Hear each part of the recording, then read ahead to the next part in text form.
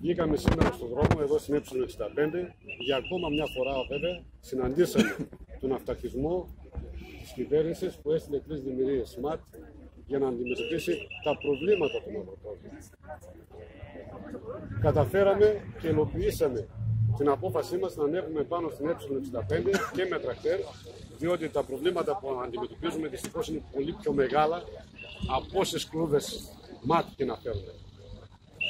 Ο αγώνας συνεχίζεται και θα συνεχιστεί και στην αγρότικα το, επόμενο, το Σάββατο που μας έρχεται. 12 η ώρα όπου θα έχουμε τη μεγάλη, το μεγάλο συλλαλητήριο.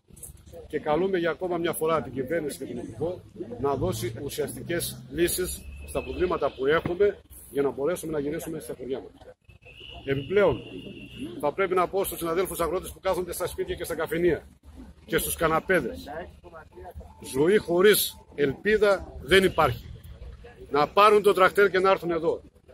Το βάρος που σηκώνουμε εμείς οι λίγοι αγρότες που είμαστε εδώ δυστυχώς είναι μεγαλύτερο από ό,τι αντέχουμε.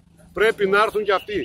Όσο μεγάλα είναι τα προβλήματα, τέτοια θα πρέπει να είναι και η συμμετοχή μας και να μην περιμένουν λύσεις από το σπίτι.